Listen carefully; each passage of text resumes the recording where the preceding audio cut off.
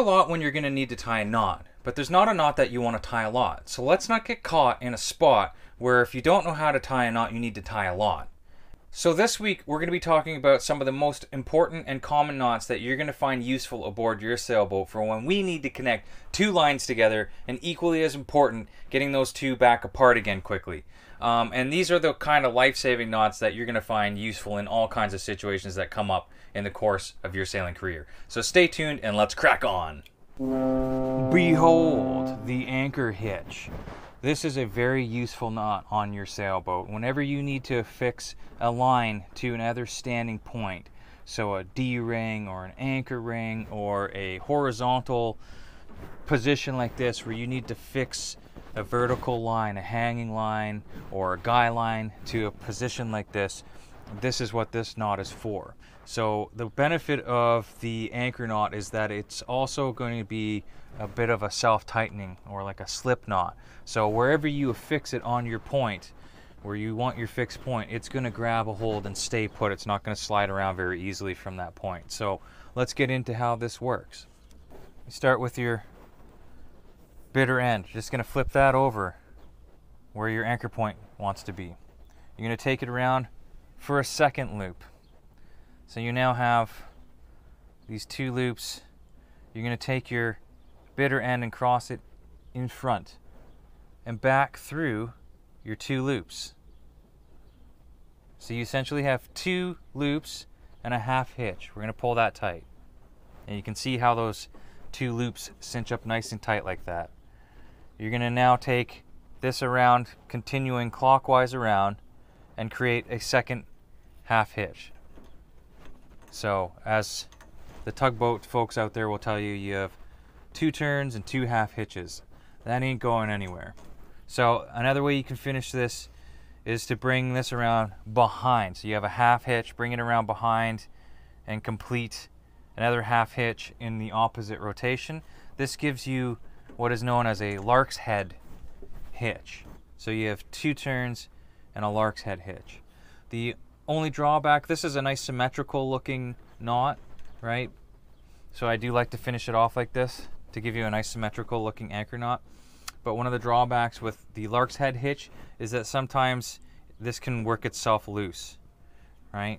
So two turns and two half hitches is always a sure bet. Okay, so this next scenario involves what is known as a rolling hitch. So the rolling hitch will come in handy when you have this kind of a problem. This is known as a winch override.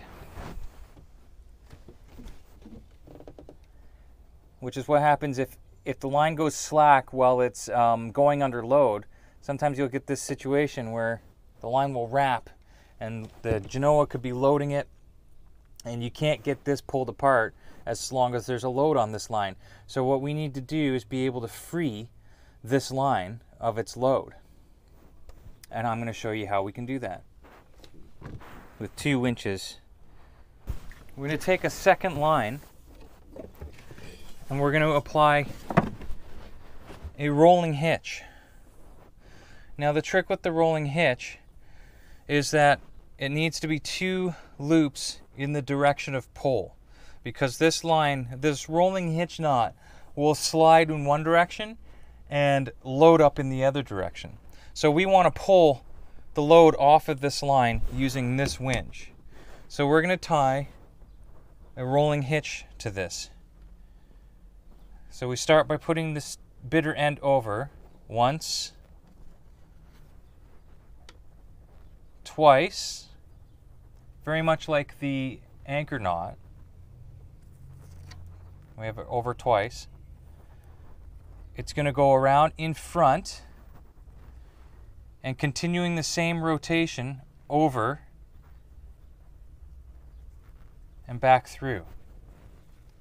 And then we're going to go ahead and tension this knot up.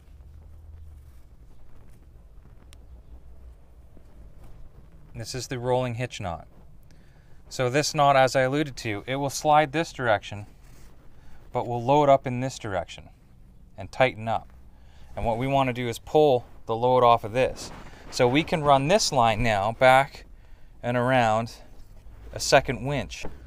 Okay, so we've got the line now to our second winch and cleaned it off here. We can now start to tension the, uh, or take the tension off of this line with this second winch. And you see as soon as we have slack here, now we can free this override and clear that winch. Because this second line is now holding all that load on there. Okay, so we'll show you close up now how exactly we did this knot.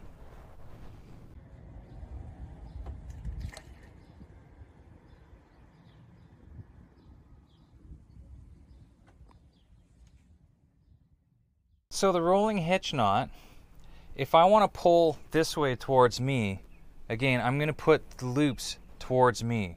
So once over, twice over, around in front, continuing the same rotation over. So again, sort of like my last video, it's always on top, right? So on top, over, on top, twice around, on top, over on top again, and through. So it just maintains this same rotation around, around, over, around, right? And now when this loads up, it will grab and pull. And I can put significant force on this and it's only going to continue to tighten that, that hitch. Whereas it will slide the other way. So I can actually move it, slide it, adjust it, and tighten it on. And that's a great uh, knot for securing like that winch override scenario I showed you, or um, I've used this as a uh, in a in a situation where um, I needed to get a bridle on an anchor chain. I could put this rolling hitch on the anchor chain itself, and there's a different variation on this where uh, you can put it on a chain, but this works as well um, to secure a, a bridle to an anchor chain or any situation um, where I need to grab a hold of another line and load it with something that I can slide, adjust it on, and then load it on and lock it on, right? So uh, the reverse of that, say I need to pull it the other way, so it's going to be the loops are on the direction going towards the direction of pull. So one over, two over, around in front. Let me give myself some slack, right? So let's try that again. Once over, twice over, around in front, continuing over, and back through. And now I can slide this way, but it's going to load up and grab going that way, the direction of the loops. Okay, this next one is the double sheet bend. So the double sheet bend is your go-to, or one of them anyway, for whenever you want to connect two lines together. So say you have a length that's running out to your tender as like a painter to your tender, and you have another length that's not quite long enough, so you need to connect two lines so that you can extend your tender out further, or any of those kind of scenarios. You're going to, uh, this is one of those knots that is very handy um, in addition to just doing like a square knot or a reef knot. So we're going to start this by taking the uh, lines, and I like to do that, line them up like this so that I have um, them overlapping. And I'm going to start with the line outside of me, and I'm just going to put a loop in by that right hand twisting away from me to create that loop. And I want my loop to be on the inside so the loop is facing in. And I'm going to do the same thing on this line. I'm going to put a, a loop on it with my right hand. I'm going to make this overlap like that. So they're mirror images of each other. Okay? So that loop is facing in towards the other line. This loop is facing in towards the other line. Okay? Just for future reference. The loop is on top. The loop is on top there. Okay? So I have this loop now. I'm going to come up through the bottom of the loop. So through the bottom and then underneath. Right? So I'm coming coming through underneath through the bottom, underneath and back through that loop. Okay? Keep my fat hands out of the way. Alright. Coming through underneath. Underneath. And back through. Now, that's your sheet bend. That's just a basic sheet bend. So I'm going to pull that tight. Okay. Now, I like to just flip it around so I'm doing everything the same way. It's easier to remember that way. All right. I'm going to put the loop in overhand again. A little bit, I'll give myself a little bit more slack. Overhand loop. And same thing again. I'm going to come up from underneath. I'm going to pass underneath again.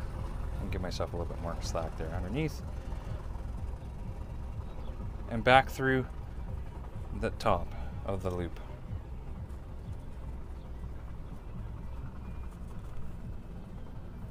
Pull that tight. And then you get this shape, the double sheet bend. So you'll have the one loop facing down and in and the other fa loop facing up.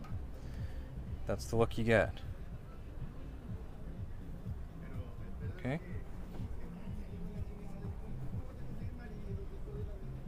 So it should look very symmetrical, mirror images of each other, these loops.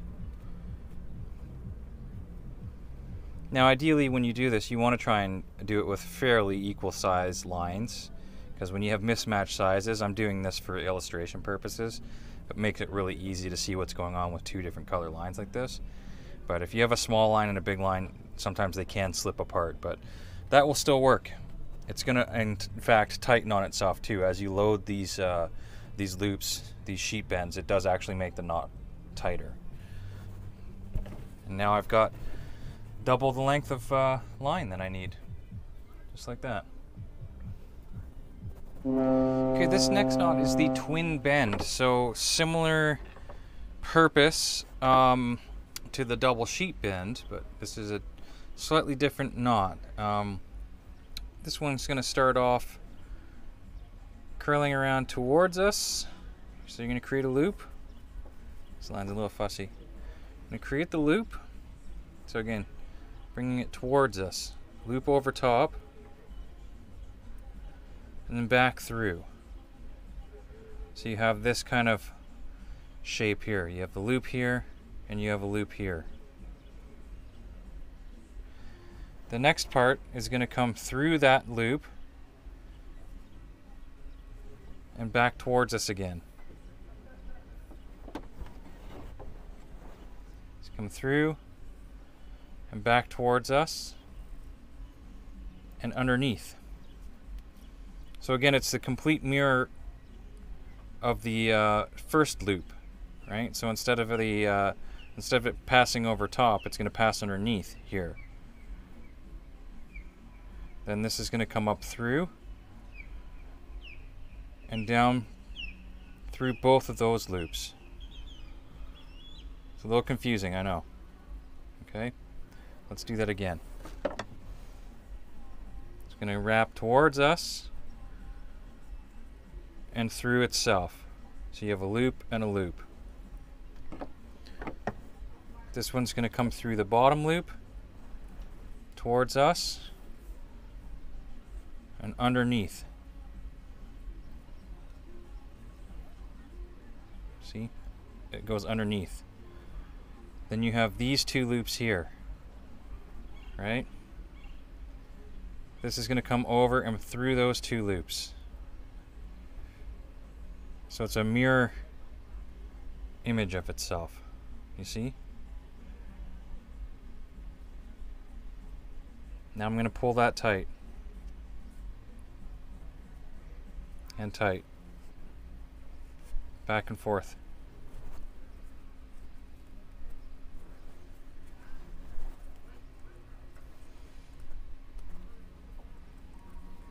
And that is the twin bend.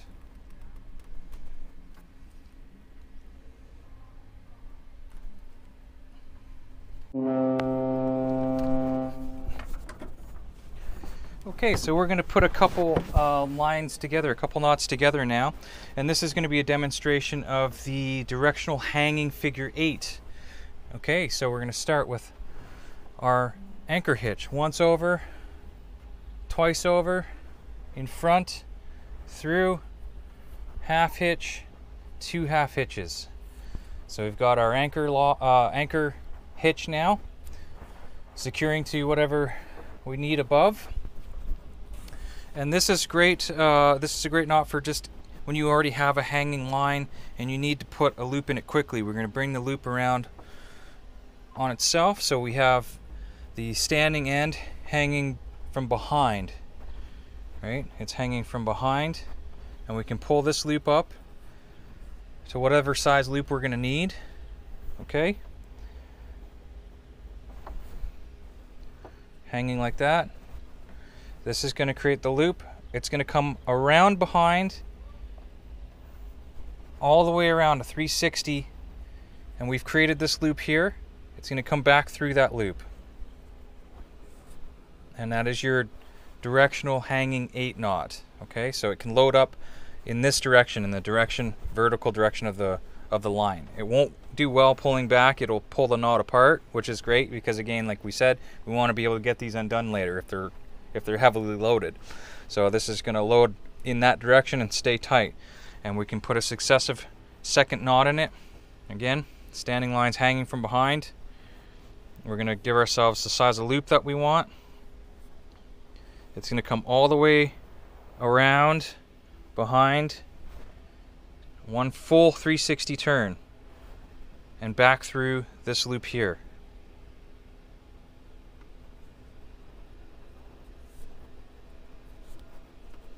So this is a great example of, you know, a functional knot where we can make, for example, like a fishing stringer, or if I have a halyard hanging from the uh, mast and the um, end is already attached to something and I need to put a loop in the span of the line, I can do that. Or I can take the bitter end around an anchor point and pass it back up through my loop like a trucker's hitch similar uh, concept.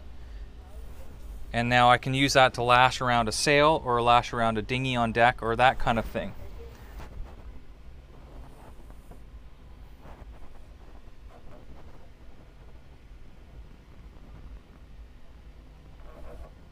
Right, so you can see how you could use that to lash around something and secure, pull it tighter like a trucker's hitch. That is your directional hanging figure eight. Okay, and now one more way to get a loop in a line like this where uh, where we may want to attach two lines together. So I'm going to take this, I'm going to wrap it around my hand like so three times. Okay? One, two, three. You're to grab the center this is the alpine butterfly knot, by the way. You're to grab this center line, the center loop, and I'm, I'm to pull the center loop through until I get the loop size that I want. Okay? I'm going to take this back through behind and push it through the other two loops. Like that. And now I'm going to pull my hand out and pull this loop through here.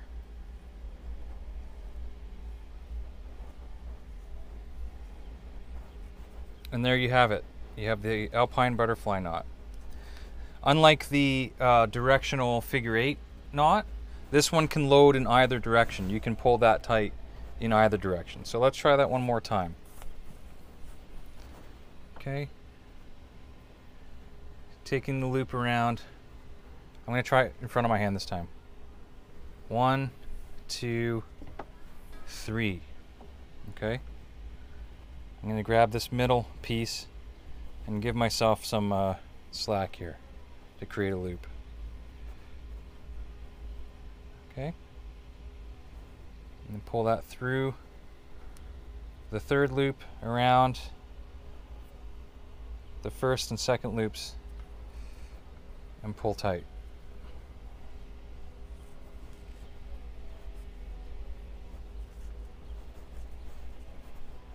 So same thing, just a little bit different, right? As long as you have three vertical loops like that. One more time, because I liked how that worked, all right? That creates loop one, right? Two, three. One, two, three. That's all you need. Make yourself the slack that you need here. Right, so I want to loop that large roughly. Right, one, two, three. Middle one is going to come around the third one, back through the first one.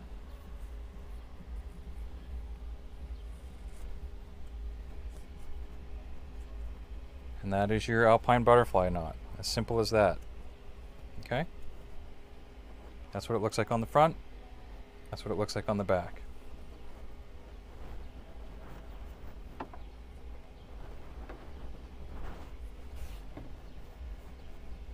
And finally, one more way to connect two lines. This is the square knot or reef knot. And this is how I've always remembered it since I was a little kid. I'm going to take my left over right and create an X. It comes around and the one that was on top, so in this case it was the black line, it's on top again. So now it's right over left and back through.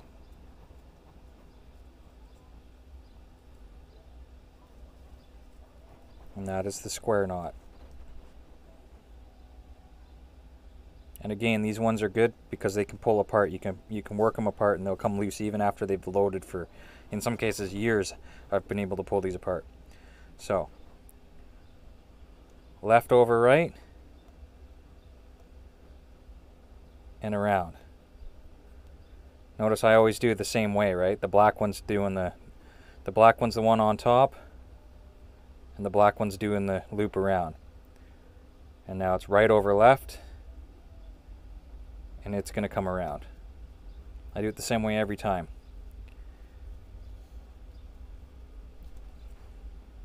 This is an excellent way to connect two lines if you're towing a painter or something and you want to quickly get these two lines together and these knots really rarely slip apart.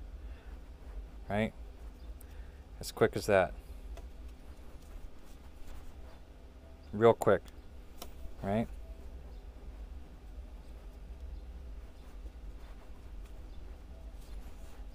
So in a jiff, you can get two lines together right quick. That's the quickest way, unlike the uh, double sheet bend and the twin bend, which take a little bit of thinking and a little bit of doing. This one is straight off, off to the races, just like that. And there you have it. We hope you enjoyed this week's episode aboard Escape Velocity and Learn to Sail Mexico, and we hope to see you here again next week. Bye for now.